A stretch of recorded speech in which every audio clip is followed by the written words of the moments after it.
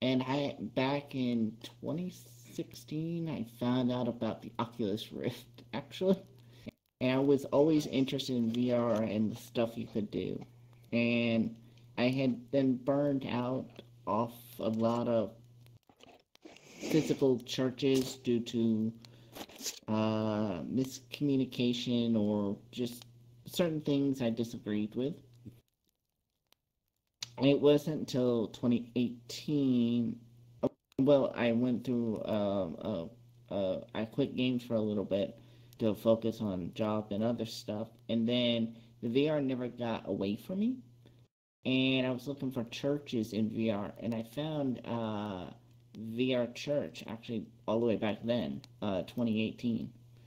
Um, and I remember buying the Oculus Go, and I would put the headset on, and I remember enjoying the Oculus Go and stuff of that nature. And I actually went into Altspace. Now, at the time, I was very hesitant about Altspace and gaming. I still am to a degree. I was just hesitant of why I would want to go back after being brought out. Um, so I went on alt Altspace and I found the VR church service somehow on Altspace. Um, Altspace took me a minute to figure out on the Oculus Go. It took me a minute to figure out those controls and stuff. Um, I wouldn't say Altspace was the easiest to learn. Um, but I what ended up happening is I found a VR church service, and I actually ended up at the European service with Bismic um, one time, and that was actually the first VR church service I went to. So I went to the one o'clock, I think.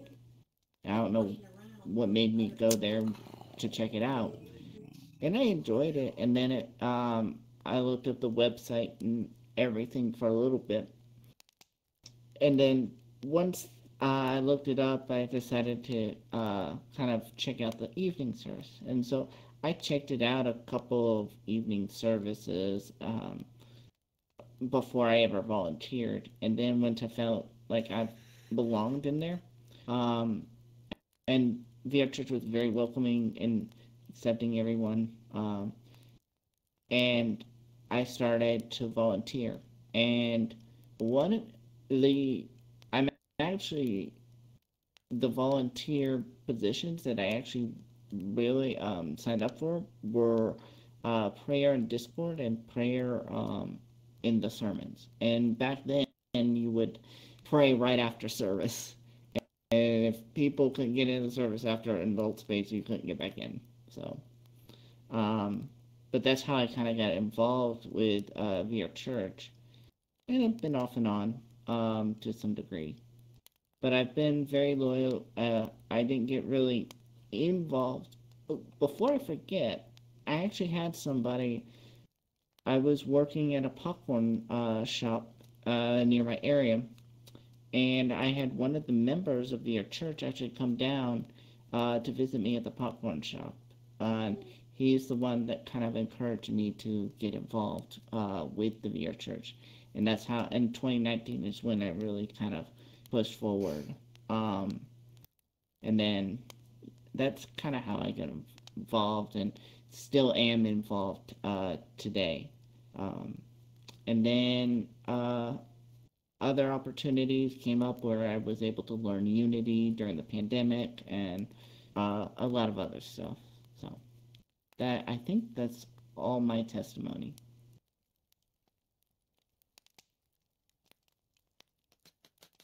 Mm, can I take this time, Zeke? Thank you. Thank you so yes. much for sharing with us. Oh my gosh. I like so I just want to say mm-hmm. um on behalf of VRMMO Church, uh, Zeke has been here and um, serving for so many years. Um, and we can't thank you enough for that. Like seriously, in so many ways, you your your, your fingerprints are just like all over everything. Um, but I, I'm really excited to announce that um, I can announce it, right? That for after service prayer coming up. Oh yeah. And yeah. um, on on teaching Sundays, on teaching Sundays, um, so that he doesn't want to do it every Sunday because, you know, uh, we don't want things to be a burden, right? So on teaching mm-hmm. Sundays every other week in the prayer hut over there, after the services, if you're in need of after service prayer, um, Zeke will be there to pray for you. And as always, um, we encourage um, volunteers. So if anybody else has you know, prayer as a, as a gifting um, we'd love for you to submit a ticket online. I know um, Zeke can definitely use the help, right? And then um, we also just wanted to thank you for everyone who's been, you even if you're not on, you know, official prayer team or what have you, but just those that are in there in Discord praying for for people, reading, mm-hmm. making sure to, to check and see who's in need. And I know many of you are doing it, and we just really want to thank you for that sincerely, um, but on behalf of the whole community, those that are in there in need of prayer, or you know, thank you for that, and thank you, Zeke, for all you've you've you've done and all that you continue to do. It's pretty awesome. It's been so long. I mean, seriously, mm-hmm. long time. Thank you. Oh yeah. Well done. Thank you for sharing and that's a really cool announcement to hear. Yeah, right? Making sure everyone knows after a service, go get prayer. Yes. a new announcement to remember to infuse with the testimonies. Mm-hmm. Uh, exactly. Two at the same so time. Anyone, two announcements. Exactly. Wants to uh, share their testimony like Zeke just did today of how God's worked in their life or how they've came to VRMMO Church. Feel free to reach out through the ticket system, or even if that's too complicated, you can always direct message me, and then I can throw you on the calendar. Uh, you know, and it probably won't be the next Sunday because I already have a backlog of uh, two weeks or two community Sundays. But um, yeah, we'll be able to slot you in and give you the time to prepare for whatever we want to say. All right. Yay. Any other announcements I'm forgetting? No. We're excited to hear what you're going to share today. Let's do that. Let's do that. Okay, I'll megaphone myself. Go ahead and go outside to that tree area, and that's where the Proverbs uh, chapter 2, verse 1 starts.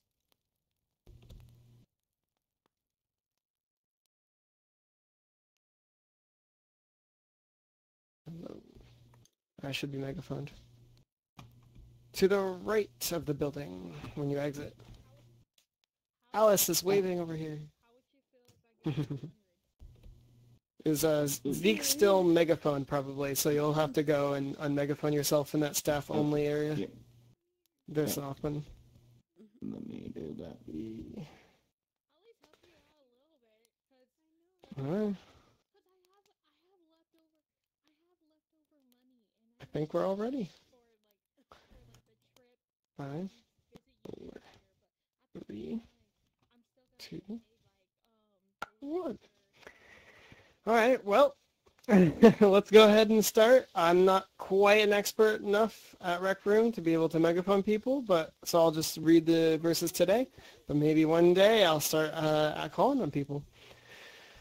So Proverbs 2 begins with, My son, if you receive my words and treasure my commands within you, so that you incline your ear to wisdom and apply your heart to understanding. Yes, if you cry out for discernment and lift up your voice for understanding. And I'm just going to take a quick pause here. It's going to end with like, uh, then you'll understand the knowledge of the God and the fear of the Lord. But when it says, my son, if you receive my words. What's that talking about? The proverb, the Proverbs is set in the context of a father teaching a son, just as much as a father in heaven is teaching you through his scriptures, and an example how fathers should be teach, teaching their children in today's context. You know, uh, I think that's really cool. Uh, so, what are these commands that are being given? These uh, my words they're the proverbs that are right here. And what's a proverb? A, it's a parable, a comparison, an aphorism, sentences of ethical wisdom or ethical maxims. Uh, you know, it's all about short sentences from long experience. The emphasis is that they're easy to remember. They condense a lot of wisdom into a small space, which I think is really cool. It makes me think of zip file compression where God decided to take a bunch of paragraphs worth of wisdom and be able to share them in sentence form in like short, easy to remember sentences. There are many allusions in the Bible to chewing the cud when it comes to reading and understanding scripture. And so to truly digest these scriptures, you need to really reread them. And you won't get it just by reading the chapter once. You need to really digest it by rereading it and rereading it. One interesting thing that uh, reading plan that I've heard of is some people will just pick the day on the calendar and use that to pick the chapter of Proverbs to read for that day. That way, if you miss a chapter one day or another day, you don't feel this pressure that you're falling behind in your reading plan. You just pick, oh, today is, you know, the 28th. I'll go ahead and read Proverbs 28 and stuff like that. So it's really cool, really cool ways to chew the cud. When he's referring to my son, you know, it's written 15 times in Proverbs. It's, you know, written throughout chapters 1 through 7, and they're you they use a lot, even once by the chapter that's written, quote unquote, for Lemuel's mother, uh, chapter 31. So this term could be referring to students that Solomon was teaching, but there's a good chance that it was referring to his Solomon's sons and the ones he was teaching. But who's the Solomon guy who wrote Proverbs?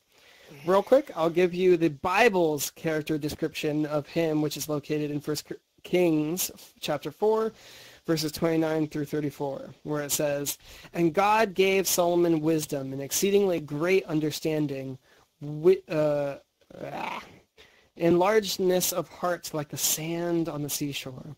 And thus Solomon's wisdom excelled the wisdom of all the men of the East and all the wisdom of Egypt.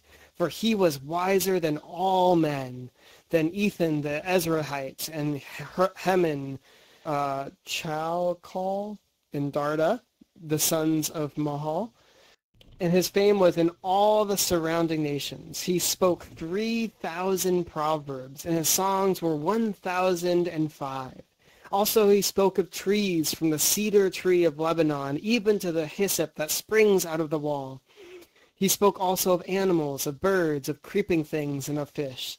And men of all nations from all the kings of the earth who had heard of his wisdom came to hear the wisdom of Solomon.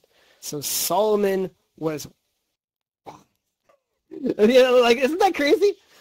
Uh, you know, there he, apparently he ha- gave 3,000 proverbs not all of them are located in the book of Proverbs we have today, but you know, the, the book of Proverbs was compiled by a, a, lot of good people, and so we got a lot of good Proverbs here. Let us continue on to the next section. So if you seek her as silver, her being wisdom, and search her and search for her as for hidden treasures, then you will understand the fear of the Lord and find the knowledge of God. For the Lord gives wisdom. From his mouth come knowledge and understanding. Woo! Powerful. Um, so if you seek her as silver and search for as hidden treasures was something that mm, I guess commenters don't usually pause on. But I'm going to pause on this to talk about how money is a great motivator. Matthew 6.21, for where your treasure is, there your heart will be also. So if God is wisdom, then this passage parallels Matthew 6.24, which is talked about next. No one can serve two masters, for either he will hate the one and love the other, or else he will be loyal to the one and despise the other. You cannot serve God and mammon is what's in King James Version, but money in other translations because mammon was a form of currency, food kind of thing that the Jews would use. Um, 1 Timothy 6.10, For the love of money is the root of all kinds of evil, for which some have strayed from the faith in their greediness and pierced themselves through with many sorrows. Why I'm mentioning that is because when you look at this, God's trying to encourage you to pursue wisdom, to pursue the wisdom that comes from his mouth, so much more than silver, so much more than treasure, which will prevent you from falling into the trap of the love of money becoming the root of all kinds of evil. Well, it'll prevent you from straying from the faith. It'll prevent you from piercing yourself with many sorrows. So I really, really encourage you, just make it so that God is a much higher priority than money ever is, silver or gold. And just to clarify, silver isn't the, pre- the only precious metal that wisdom is better than. Wisdom is also better than, uh, you know, gold, as Proverbs 16:16 says. And to get understanding is to be chosen rather than gold. Wait, hold on. Oh no, it's the Job passage. Hold on. I apologize. I've messed up my notes. Proverbs 16:16 says, "And to get understanding is to be chosen rather than silver." And then Job talks about in Job 28:15 it says that wisdom cannot be purchased for gold, nor can silver be weighed for its price. So it's also more valuable than gold. Sorry, I messed up that little bit. Going on to verse 5, where we've got this, uh, then you will understand the fear of the Lord and find the knowledge of God. Wisdom, this is a good place to talk about wisdom. Wisdom in the scripture means the ability to use knowledge properly. Wisdom occurs in Proverbs alone 37 times, and wisdom also means Jesus Christ for the believer today. If you look at 1 Corinthians 1 verse 30, but of him you are in Christ Jesus, who became for us wisdom from God, and righteousness, and sanctification, and redemption. Colossians 2, uh, verse 2 through 3 that their hearts may be encouraged, being knit together in love and attaining to all riches of, of, the full assurance of mm-hmm. understanding, to the knowledge of the mystery of God, both of the Father and of Christ, in whom are hidden all the treasures of wisdom and knowledge. So Jesus Christ has all wisdom and knowledge in him. And so that's really interesting when you're now reading Proverbs and you're talking it talks about seeking wisdom from the mouth of God. Guess what? Jesus is God and anything he taught is also from the mouth of God. And so therefore Jesus is basically the embodiment of wisdom. So whenever you seek wisdom, seek Jesus. Whenever you seek Jesus, seek wisdom. It's really simple and it really makes us, when you read through Proverbs, you have a whole new perspective that this is encourage you to seek Jesus in the end.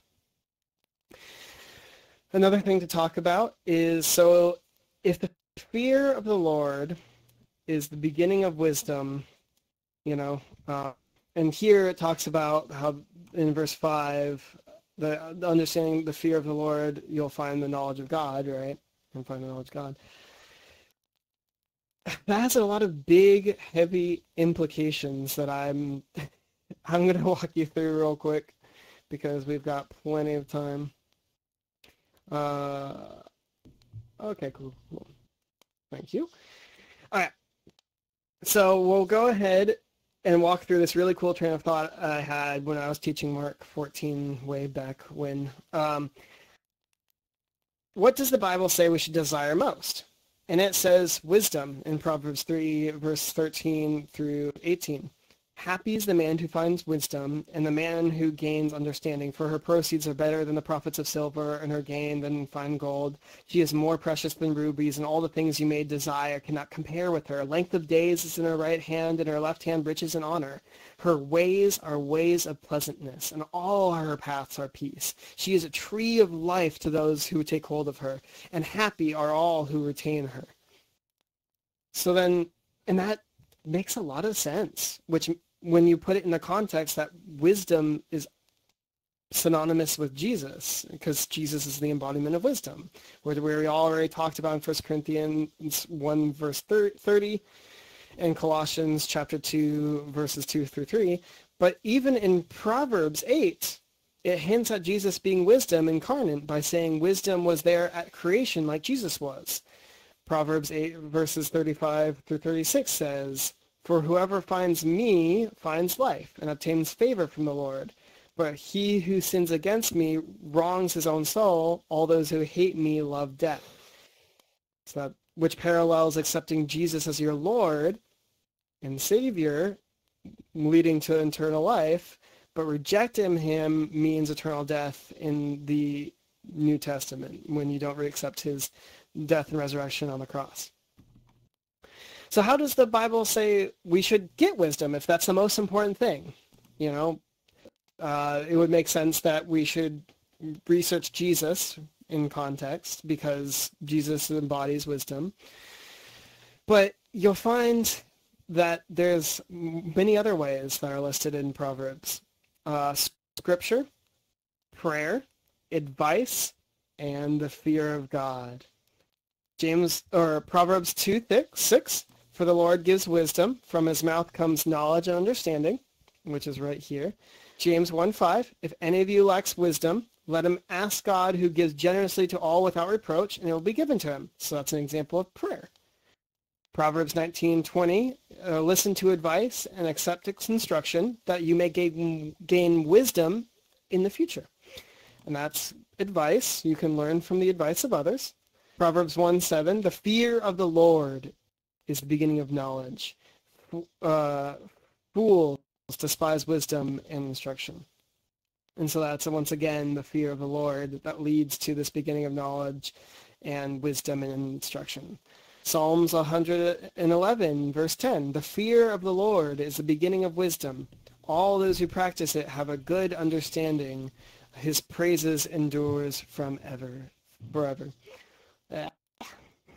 And that's an example, once again, of the fear of the Lord is how we can get, attain wisdom. But I got to ask you this question what does the fear of God look like? Are we supposed to be terroring? Are we supposed to be running away, waiting for God to smite us with the thunder, you know, and lightning or something? No, that's not what that's all all about. You know, normally I hear it taught the Hebrew word is more of an awe or healthy respect or reverence for a given person, like a father, like the kind of similar to the reverence you would give to a father. But to my surprise, the Bible actually says in Proverbs 8, verse 13, the fear of the Lord is hatred of evil. Pride and arrogance and the way of evil and perverted speech I hate. I appreciate Proverbs. Yeah, oh, sorry. I appreciate Proverbs clarifies evil for typically when man does what is right in our own eyes, we get what is good versus evil mixed up all the time. Job even makes the connection to how God's the one who decides what good and evil, and that wisdom is hatred of evil in Job 28, 28. He sa- and he said to man, Behold, the fear of the Lord, that is wisdom, and to turn away from evil is understanding. So I'm going to go ahead and loop, loop back right back to Proverbs 2 verses 4 and 5. If you seek her as silver and search for her as for hidden treasure, then you will understand the fear of the Lord and find the knowledge of God. You know, Proverbs 15:33, the fear of the Lord is the instruction of wisdom, and before honor is humility. So we've got a bunch of passages that point toward the fear of God being the hatred of evil, seeking wisdom, and hearing the instruction of wisdom, as you can see here. So while you read the scriptures, I encourage you to keep an eye out for what God declares as evil. That way you can hate it and growing in your fear of God, growing in your growing in your wisdom, which is great because that's the greatest thing to desire in the Bible. And which makes a lot of context in the context that Jesus is the embodiment of wisdom. Sorry for that long discussion but I just think that's a really cool train of thought um, when I found out about that. Anyways, so I'll go ahead and move on to the next section, I think, a little bit. There's a lot to cover, and we have 15 more minutes, so I'll keep going. He stores up sound wisdom for the upright. uh, he is a shield to those who walk uprightly. He guards the paths of justice and preserves the way of the saints. Then you will understand righteousness and justice, equity in every good path. So it sounds like to me that if you grow in uprightness, aka staying innocent and growing in integrity, then God will guard you and give you wisdom and which in turn teaches you how to be righteous and just. It's this cycle of growing in righteousness. It's wonderful. If you're with God, the Lord, you have made it in every respect, and is another way to put it. If not, there is no chance. You don't have God to protect you, you know, and to guard you. Proverbs will continue to nail this point in great detail as we continue going through chapters. And this is you know, the Proverbs as a whole is a book, is God's book on how to live your life. It focuses living on an aggressive, dynamic lifestyle, dealing with attitudes and conduct. Since they don't didn't have the printis, printing press, uh, since they didn't have the printing press way back when, one of the ways to instruct children was to orally tell them memorable reminders. Reminders not just about what chores in the house are to be done, but the do's and don'ts of life itself. So we see a list of memorable, you know, phrases, remind, uh, uh, helpful reminders created by Solomon here. But yeah, we'll go ahead and continue on. Ooh. Whoops. I uh, accidentally duplicated verse 7 twice that chunk. Verse 10 through 11 and 12.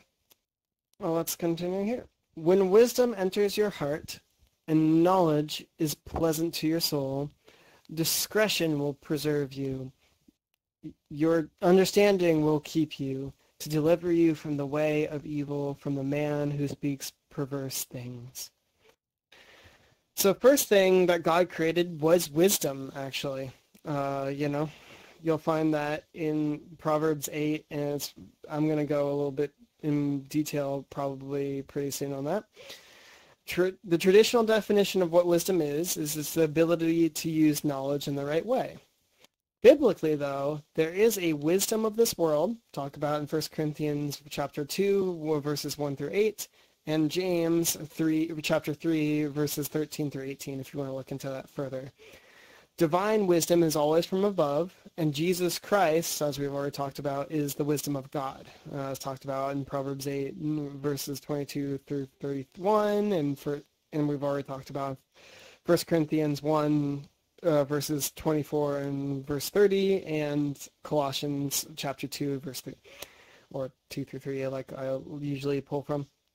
Wisdom occurs, the word itself occurs 45 times in the book of Proverbs. Makes sense because it's all talking about wisdom. You know, it's all about being knowledgeable, experienced, efficient in different areas of expertise. And it includes things like just functional skills, being moral, being an upright living person, which stems from a right relationship with the Lord. I'll, I'll just plant this thought. It's not in my notes. But if you think about it, we grow up and we learn the most by seeing how our parents live, uh, by having them instruct us, by correcting us when we make mistakes.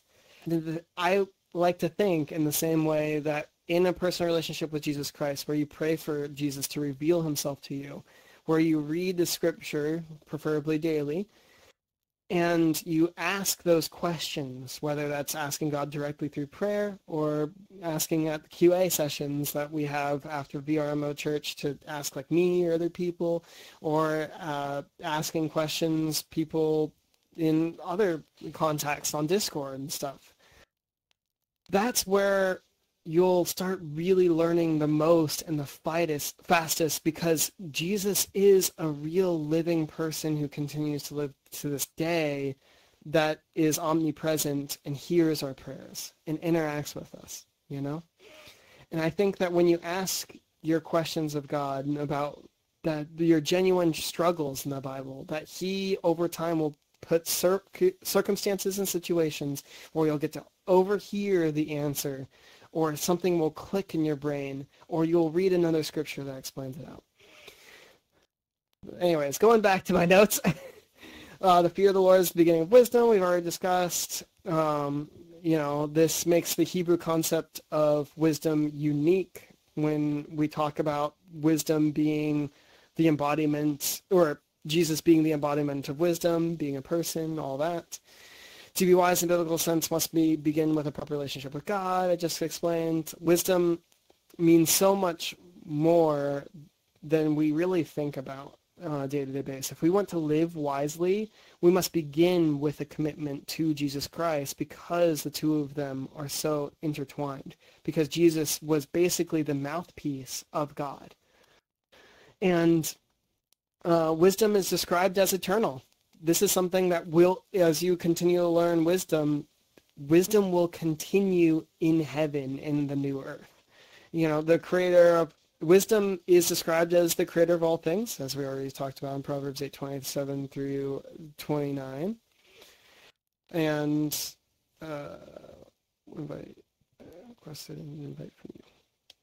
So that and wisdom is the beloved of God, talked about in Proverbs 8, uh, verses 30 and 31, which makes sense because Jesus is also the beloved of God, which is, the parallels are insane. I just can't get over that because I'm learning about this as I'm studying. To yield your life to Christ and obey him is true wisdom, as John 1 verses 1 through 2 talk about. Colossians chapter 1 verses 15 through 19 talk about. We just don't have the time to go through all this. So, yeah. Another thing to mention that if when, it talks about in verse 12 to deliver you from the way of evil from the man who speaks perverse things, if we hate the things God calls evil, uh, then you know, the things that God calls evil, then it'll become easy for us to discern with discretion what things are evil and to avoid them. And so it's it's really cool. Continuing on to verse 13 through 15. From those who leave the paths of rightness to walk in the ways of darkness, who rejoice in doing evil and delight in the perversity of the wicked, whose ways are crooked and who are devious in their paths and ignore my typo of DS at the end when I was trying to move while typing using the WSD keys.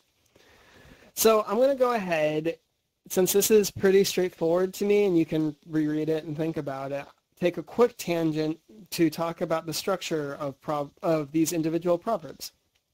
Many cultures rhyme using meter, tempo, or similar last syllables. But Hebrew Proverbs, the original rang- language that the book of Proverbs was written in, is rhymes in the pairing of ideas. I think that it's really cool because this rhyming of ideas lends itself to being translated to other cultures well and still being rememberable. It's a great example of where God planned ahead that this Bible that we have would not just be for the Israelites or the Jews that were in the Old Testament time period, but for the people of all languages in the New Testament time period after Jesus Christ came. So the three main types that you're going to see uh, of this kind of parallelism of ideas is synonymous parallelism, uh, antithetic parallelism, and synthetic parallelism. So the synonymous parallelism is where the second part or clause restates what is given in the first clause. An example of that would be judgments are prepared for scorners and stripes for the back of fools. Proverbs 19:29. It expresses the same thought in a different way. Sometimes every unit in one line is matched in the next line. This is called complete synonymous parallelism. Other times only some of the units in one line are matched in the second line, and this is called incomplete synonymous parallelism, but that only matters if you're being a theology student and you're trying to answer test, test questions, you know. Um, antithetic is sometimes referred to contrast parallelism. A truth, which is stated in the first clause, is made, made stronger in the second clause by contrast with an opposite truth. The light, so an example of that, the light of the righteous rejoiceth, but the lamp of the wicked shall be put out. Proverbs 13.9. You can see that the second statement is stating the same truth, but from the opposite point of view by way of contrast. So it's it's pretty cool. Um, there's so many noises. Synthetic parallelism, if I can talk. Synthetic parallelism, the second clause develops the thought of the first. So an example of that would be, the terror of the king is as the roaring of a lion. He that provoketh him to anger sinneth against his own life. Proverbs 20, verse 2. In synthetic parallelism, the second line similarly continues the thought of the first line. Sometimes the second line gives a result of the first line, and other times the second line describes something in the first line. Sometimes one line gives a preference over what is referred to in the other, like this is better than that. Um, so they are not exact carbon copies. You're still learning new information in the second clause is the infamous, is what I see as the difference between synthetic parallelism and synonymous parallelism. Anyways, that's a really cool detour. Let's continue on to verses 16 through, if I can aim, 16, 17, 18. To deliver you from the immoral, immoral woman, from the seductress who flatters with her words, who forsakes the companion of her youth and forgets the covenant of her God, for her house leads down to death and her paths to the dead. So we've got three more minutes, so I'm going to be flying over this. But visualize for a second that Solomon is instructing his son, young sons. He is putting them on guard against prostitutes, against women who would have sex with those outside of marriage, which the Bible ends up calling adultery. It is ironic that Solomon, who was the wisest man of his day, started off so well, but ended up in apostasy or turning away from following God because he had women draw him away from his earlier commitments. If I remember correctly, I think he had 700 wives uh, you know, and they were worshiping different idols uh, from different countries and regions and stuff. And so because of that, he ended up falling away. And so I, that would make a lot of sense if, you know, Solomon, who started falling by the wayside due to all these wives and all of these circumstances, that he would be putting his sons on guard against that. Um, so let's continue on. And the last segment is I over think here. you can. I think you can. Verses 19 through 22. None who go to her return, nor do they regain the paths of life. Or I'll, I'll give a few seconds. None who go to her return, nor do they regain the paths of life. So you may walk in the way of goodness and keep in the paths of righteousness. For the upright will dwell in the land, and the blameless will remain in it, but the wicked will be cut off from the earth, and the unfaithful will be uprooted from it. And ignore the AW, DW when I was trying to move away from the screen. this is when I catch it all, right? Uh, so the goal of avoiding evil is to be righteous.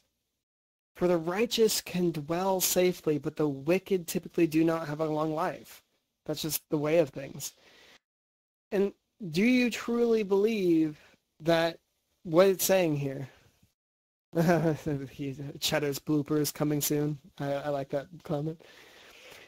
Do you believe that, you know, that there's, that really the upright will dwell in the land?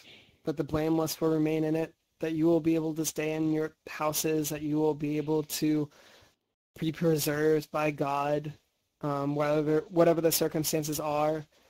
You know, that's a question we all need to ask ourselves because honestly, I think there are times where I have to tell myself, I think sometimes that most of the times people are provided for, that there are exceptions. You know, I think of the book of Job and stuff like that. But really, in the end, God provided for Job. He gave a double portion of children and and possessions and land and all of that, even though for a time that was taken away from him.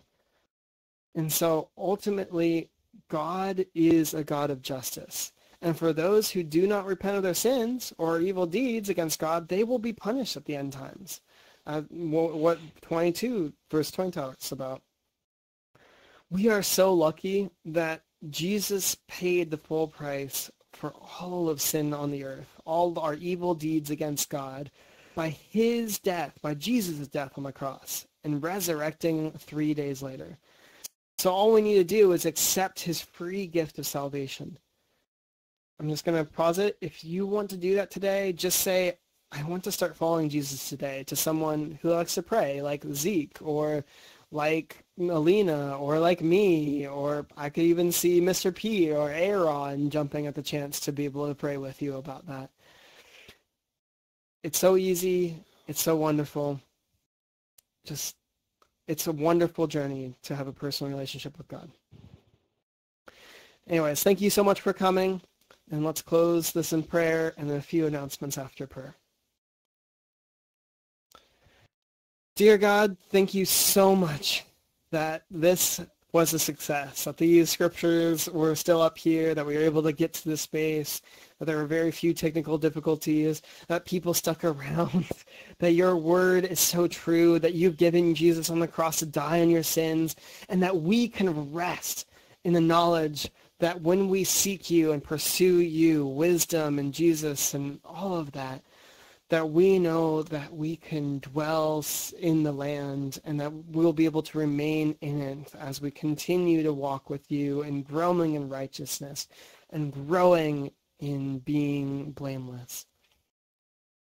We ask you that you would give us the strength, the willpower, the motivation, the f- proper fear of the Lord, uh, the, the proper respect of you, the proper under, uh, hatred of evil uh, that you declare as evil, not what we consider evil.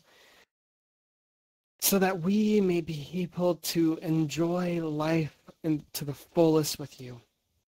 And for those who have never gotten to experience a personal relationship with you, God, we pray that you would reveal yourself to them here and that they would be able to spend eternal life with you and with all of us. Thank you so much for what you're doing in all our, all our hearts. In your powerful, precious name, Jesus Christ, God the Father, and Holy Spirit. Amen. Great. Thank you so much. Uh, I think um, Alice has some announcement if she's still around, and if she's not, I'll just read what she messaged me. Uh, I don't see her. So bloopers are after teaching. Uh, apparently, we are going to RecCon. So I don't know all that entails, but for those who are regular visitor, you know, regular users of RecCon, we'll be having a booth on a stage in RecCon.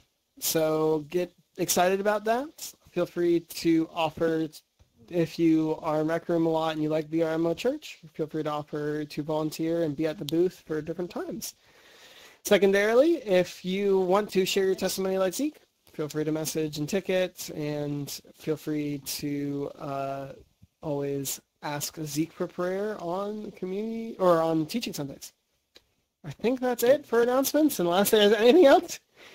So uh, Horizon free, Church. Uh, Horizons mm-hmm. Church starts right now over in Living Waters Bible Church. Anyone interested? Yeah. That's where I'll be. Horizons Living Waters Bible Church. Come join us. Now that's another cool place if you want to experience more of the scriptures today. And if you want to hang out, uh, I'll be hanging out probably by those trees over there to answer any questions or prayer with people. And uh, just hang out, socialize, feel free to pray with people, and go play and hang out in Rec Room. And for the, the, few people on Twitch, thank you so much for watching this uh, this wonderful teaching of Proverbs 2 and I pray that Uh, God would continue to bless all of you. Uh, Anything, Zeke? When is RecCon for people who might be watching on Twitch and stuff? Or they haven't said I do not know when RecCon is. Does anyone here know when RecCon is? I think it's in October. October 5th through 8th. We've got an O- we've got an October here. We've got an October. Any other answers? it's like a Alexa, seller. when's RecCon? Okay. RecCon I should 2022. address Do a quick Google search. Or we had the stream. October 5th through 8th. We got a second person saying that. So that's actually next week. Alexa, be quiet, please. Thank you. Okay. I like ALEXA. Yeah, Cheddars, you can find it under your watch. If you go to your watch notifications official, it has it right there, RSVP to RecCon. RecCon is back this year on October 5th to 8th. And um, Mm-hmm. you can click on that for more details. Okay. Perfect. Thank you, Aaron, for finding that much faster than I could because I was just finding applications for RecCon that were due by a different date. It's online, so great. If so, make sure that if you want to volunteer, that you're free those days, uh, especially for those on Twitch or watching the YouTube later. So thank you so much, and uh, I'll be hanging by the trees. Hey, so. I just wanted to say one more thing. A, first of all, thank you. Absolutely. go for it. Love your teachings. But I wanted to um, let people know that, you know, uh, Cheddars uh, has gone so deep into this so wonderfully. I love particularly your teachings on really what is it to, to, to fear the Lord. Um, and the other place I absolutely loved is when you were talking about giving people really practical ways that they can get to know Jesus more and in turn increasing in their wisdom and, and such. Um, and so those practical ways, of course, prayer and reading the scripture, um, but also just uh, talking with each other, right? So engaging when we have these community Sundays and participating and asking questions and getting in Discord and participating in there and answering and asking and having these discussions is incredible and I love it.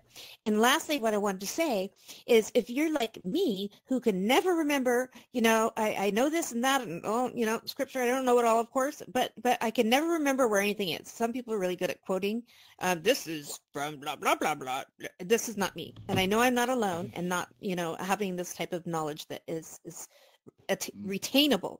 And so I wanted to suggest if you wanted to dig in even deeper than Cheddars has already brought you, to check out the um, stream, um, which you'll find on YouTube, because you had listed quite a few different resources um, that people who wanted to dig in deeper could do. But I assumed that, well, I wouldn't remember those. And so I wanted to just, you know, let you know to get in there, check out the video, yeah. zoom to where you want, and you can get that information again through the video. And that is all. So thank you very much. Yeah. Yeah. Oh, thank you so much. Yeah, I second everything. You can always watch the YouTube video later because we archive them usually within three days of the Twitch. And uh, if you want to have a personal relationship with Jesus, like I said, get some prayer with someone and, uh, you know, reading scripture is a great place. I would recommend the Gospel Book of John just because that covers a lot of the basics of the teachings of Jesus. And then but also later on in your journey you can go, go into a deep dive and there's a lot more depth to it when you parallel a lot of the teachings with the festivals that the israelites would have. And then lastly you know just ask questions you know and have a good time. Fellowshipping uh, fellowshipping with people here and both and in the discord. Thank you so much. Have fun social